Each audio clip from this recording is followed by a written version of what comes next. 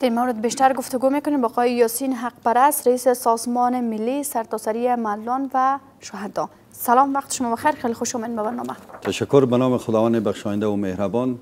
بسیار خوش هستم که از طریق تلویزیون دوست داشتنی طلو هموطنان عزیز برشان به تک تکشان خصوصا برای معلولین عزیز و رسه شهدای گلگل افغانستان سلام عرض ادب تقدیم می‌کنم. ممنون. آقای پرست شما امروز اعتراض داشته ناشی از که حقوقتان از طرف وزارت کار پرداخته نمیشه علتش در چی است؟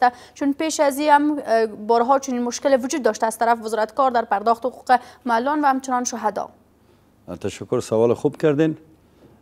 چون اعتراضات وظیفه تمام اتباع افغانستان است که مطابق قانون حق خود بخواین چون شما آگاهی دارین که قبلا وزارت کار با بخش شهدا معلولین مدغم بودن. نظر به حکم جلال باب رئیس جمهور وزارت شهدا معلولین یک اداره مستقل شده که در راسش محترم آریوبی سب قرار داره. امیدوار هستیم که بودجه که یک تعداد معلولینی که انتقاد کردن در ارتباط بخش بودجوی شما آگاهی دارین که پارلمان محترم و وزارت زیربط کماف سابق بودجه خود از وزارت زیربطی که به نام حمایت از شهدا معلولین مطابق از او اخذ می‌کنن چند ماه میشه که شما ماشاتان دریافت نکردین؟ چون سال فیلی تا فعلا کدام حقوق برشان داده نشده امیدوار هستیم که مطابق طرز العمل توضیح حقوقشان اگرچه شما بحث سر ماش کردین بله. فعلا در ماده 53 قانون اساسی مساعدت است تا فعلا تثبیت ماش معلولین خصوصا در کشور عزیز ما تثبیت نشده. اگر ما ماش بگوییم اینا مطابق کدراسون ها میساق های بین ما حق داریم که ماش خود بگیریم. بله. چون تا فعلا بیشتر عرض کردم که ماش حقوق تثبیت نشده این مساعدت است که برای معلولین و ورثه شهدا میده. حاضر همین که معلولان و ورثه شهدا اینا نتونستن که حقوقشان دریافت بکنن از طرف حکومت افغانستان با چی مشکلات روبرو هستند چون اینا خب توان کار کردن ندارن. نیازمند هستند که باید از طرف حکومت حقوقشان پرداخته شود سوال خوبه.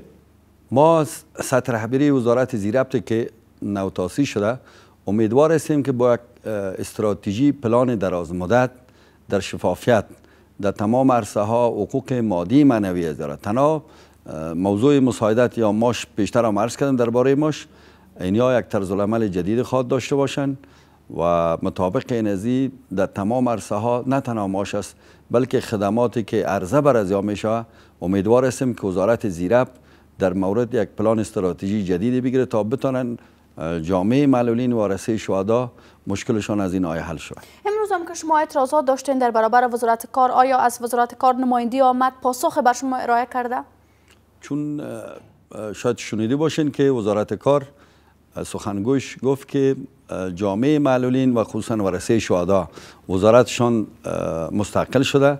اینیا می‌تونن با وزارت زیربط خود مشکل خود مطرح کنن. چون یک تعداد معلولین پیشتر عرض کردم که حق دادخواهی دارن که در هر مرجع برن و حقوق خود بخواهن. و ما هم طرفداری حقوق مادی منوی جامعه معلولین و رسه شهدا مطابق قانون هستیم. آقای برعکس می‌خوایم از شما پرسم که اگر حکومت نتونه که حقوق شما را به زمانی که تعیین شده پرداخت بکنه اقدام شما بالاخره چی خواهد بود؟ با این مشکلات که در حال حاضر شما به سر می‌برین. چون تمام اتباع افغانستان نظر به قانون اساسی حق مسلم است که بتانه صدای خود و آواز خود به گوش دولت مردای عزیز خصوصا به جهانیان برسانه تا بتانه ممدهی از یا یا کمک دهنده از یا از برونی شوا و بودجه که فعلا بر شما بهتر معلوم است که 70 فیصد از بانک جهانی 30 فیصد از بودجه دولت افغانستان است. امیدوار هستیم که اگر وزارت زیرفت با مشکلات مواجه شده با تفاهم با وزارت زیرفت و مقام عالی ریاست جمهوری مشکل حل خواهد شد. تشکر آقای اخبار. سپاس از اینکه با برنامه رفتن خیلی سپاس از شما.